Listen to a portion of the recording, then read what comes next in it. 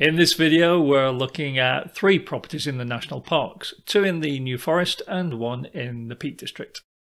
In every case, the appeal is against a condition applied by the council to remove certain permitted development rights. Of the three appeals, two succeeded and one was rejected. This is a property on the edge of the New Forest. An application was approved for two story side and rear extensions but the approval also removed permitted development classes A, B, C, and E of Part 1, plus Class A of Part 2. With regard to Part 1, Class A, the inspector considered that the central position of the house in the spacious plot would ensure that there was sufficient space around it after side and rear extensions were added. Class B does not apply as it is excluded for a house on Article 2.3 land Roof lights under Class C would not impact on the character of the area. Turning to Class E, the instructor pointed out that outbuildings cannot be forward of the principal elevation of the original house, and in a national park cannot be located beyond the side elevation of the original house. Given the substantial setback of the house, he stated that a restriction under Class E is unnecessary to safeguard the character of the area.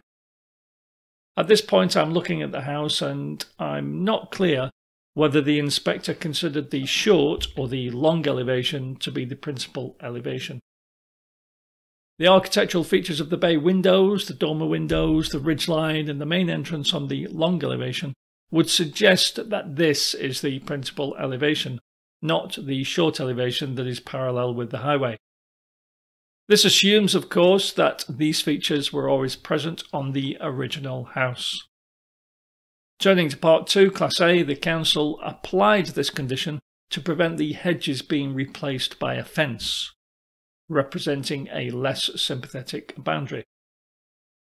The inspector pointed out that the boundary treatment is unconnected with the original application for house extensions, as such, it fails the test of being necessary to make the development acceptable in planning terms.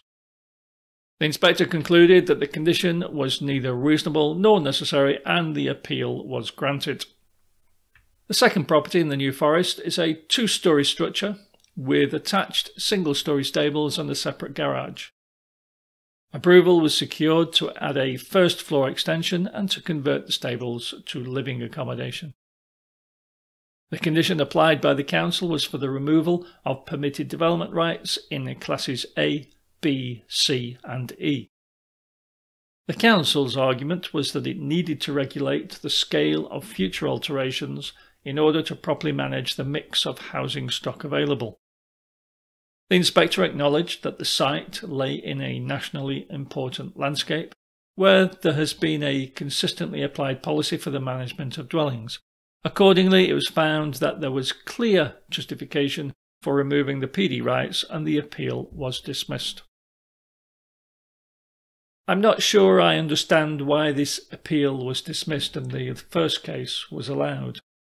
They're both within the New Forest National Park, and so I would expect a consistency of treatment. Yet the first property, visible from a busy road, secured the appeal while the cottage, hidden from view down a small lane, was refused its appeal. If you know why this may have happened, please do enlighten me. I'm always ready to learn. The third national park appeal is in the Peak District. Furthermore, it's also in a conservation area. Permission was granted for the conversion of an attached workshop into residential use, plus the rebuild of a lean to workshop. The approval was accompanied by the removal of permitted development rights under Part 1 Classes A, D and E, plus Part 2 Class A. Looking at Part 2 Class A, the Council insisted that the wall along the southern boundary be retained. The inspector observed that the approved extension into the workshop did not directly affect the boundary, and made the point that a condition cannot be imposed to remedy an issue not created by the proposed development. The site is at the edge of open countryside and is seen within the context of a built up village centre. The rear of the site is within long range views across fields, and along the road approaching the village from the south.